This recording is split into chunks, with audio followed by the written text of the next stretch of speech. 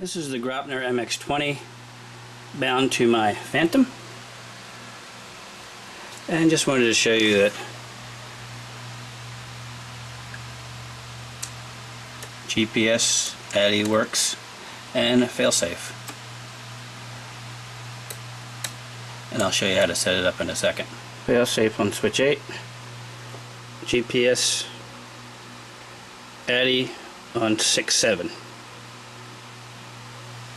This is switch 7 on the MX-20 for the Phantom. This is the failsafe. You can see it goes into failsafe at in all three positions. This is a video on how to hook the uh, MX-20 Graupner up to your A2 or uh, other DJI product. This is a GR24L 12 channel receiver. It's already bound. It connects to the X2 port of the A2. First thing you have to do is set up your input channel receiver type as a PPM in the DJI A2 software. You have to hold down the escape button to go into the telemetry mode. Go into sensing and data view. Might have to push the left and right arrow a few times, but you have to go down here to channel out and set this to Sumo 16 or you can set it to Sumo 12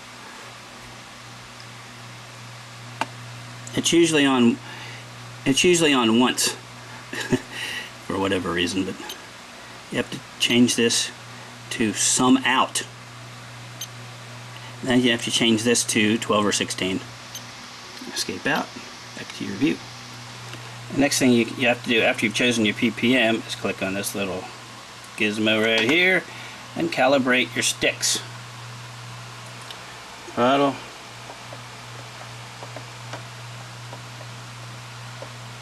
Rudder.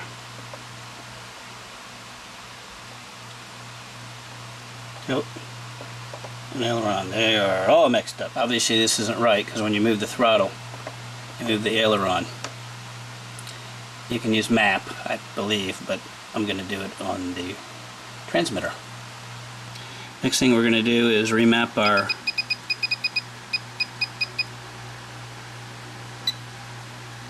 transmitter sticks. Channel 2 goes to 1. Channel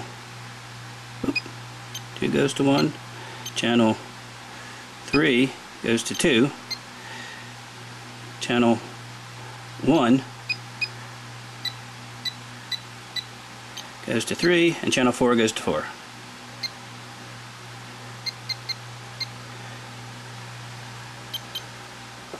Now, throttle, rudder,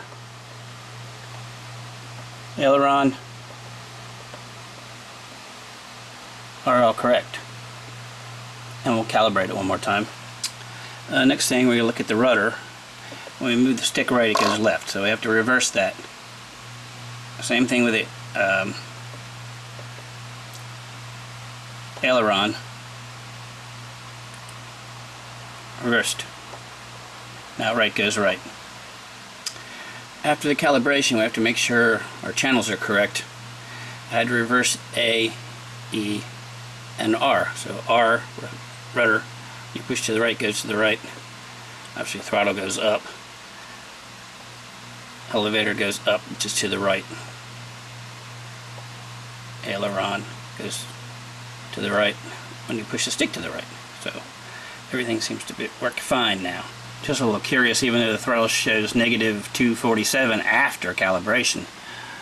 On the MX-20 it still shows as centered now we're going to do controller adjust um, Input 5 I used as my orientation control, which I use switch 2. Input 6 I used switch 8 for failsafe. And switch input 7 I use switch 67, which says C10. Since switch 7 is my GPS, I had to change this to U under base channel map. So when I move channel 7, U moves. I changed my settings on this screen, control mode switch, to ATTI ATTI GPS because that's the way I have it on my Naza and it's been there for years, ever since they allowed it. Uh, I've never had a problem with ATTI mode, but I have had some with GPS. But now I have to adjust the throws on this switch because obviously it is wrong. So I have to adjust the throws on the switch 6-7 So on control 10 I start at 0. Put the switch, which is three-way, in the middle position. It's on ATTI right now. I'm going to make sure it's like right on the red bar. So let's move it up just a smidgen. Now we move it to G ATTI with GPS, it's in GPS. And but it's actually reversed, so we actually have to reverse this also. This is in the servo adjust menu. You have to go back down to oops, channel 7, input 7. Reverse this channel, you just select it and hit the arrow. Reversed. Now we go over and adjust this. Put the switch in the middle, control 10 or, or channel 6, 7, which is I use this one, three-way switch.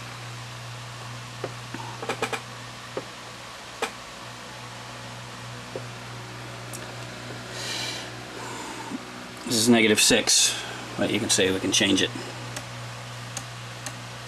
Now it's on ATTI, GPS. You can also, of course, adjust these individually.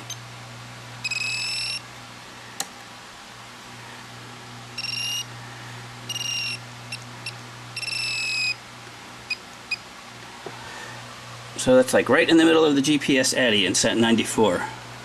I'm going to switch it to the other one. I'm going to make sure it's right in the middle of the ATTI, so we're going to change that one too. So we're going to put that on right, so it's right in the middle of the ATTI. So let's check them. ATTI in the middle, GPS. And the values here are minus 6, 91, and 94. Next we go down to free mixers selection. Change this to 7. And just a 7. Move the desired switch, which is your failsafe switch, whichever one you chose. I chose 8. And next you have to go over where this little arrow is. And hit and enter. If it doesn't show anything, it means your failsafe switch is off. Turn it on. We're going to asymmetric instead of symmetric. Hit enter.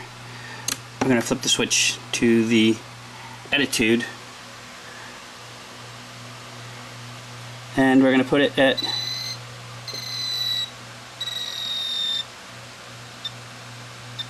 negative 46.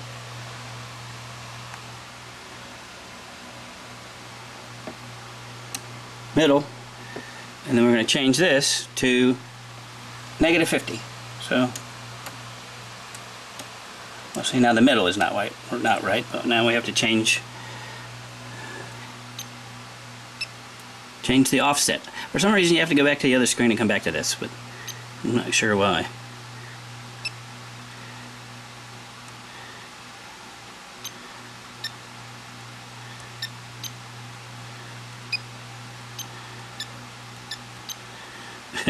Let's do it again.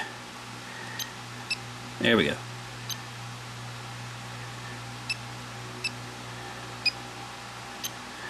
You have to go over to set.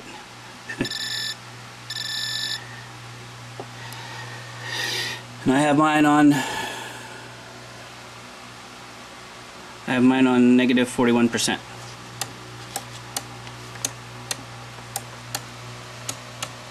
And you can see now when I move the GPS switch, This is ATTI 1, this is ATTI 2, this is failsafe.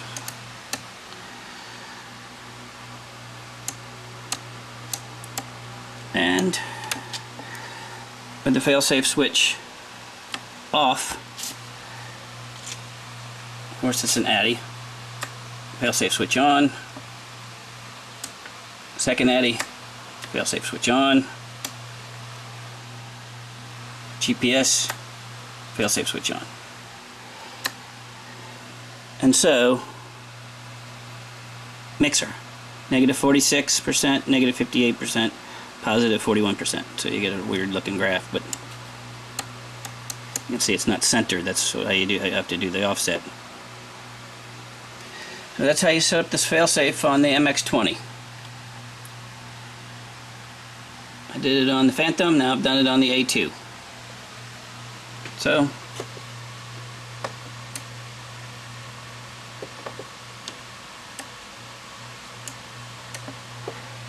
ATTI, ATTI GPS, RC status lost, even though you can see the switch is moving. See ATTI switch. Still says just GPS ATTI, but it says RC lost. And that's it. Throttle, rudder, elevator, aileron. Uh, the rest of the switches you can kind of figure out yourself. If you can't, drop me a line. Uh, one other thing, I did uh, map this uh, IOC to channel 5. I just there's channel 5 and go, up. Oh, there's channel 5. Select. And there it is. It's reversed and then you can see actually it just goes into home lock. There's no course lock so basically you just flip uh, IOC and wherever it is if you move the stick towards you it comes towards you. So uh, which is good because if it goes over your head and you get confused it'll still come towards you if you pull the stick towards you. You can always hit failsafe sorry about that glare. You can always hit failsafe but this is I have it hooked up to switch 2 and I just mounted it right on top of the A2 uh, so I could still see the uh, LED lights status lights on the A2 next step uh, for the next step I'm going to hook this up so I have uh, voltage and altitude telemetry to the Graupner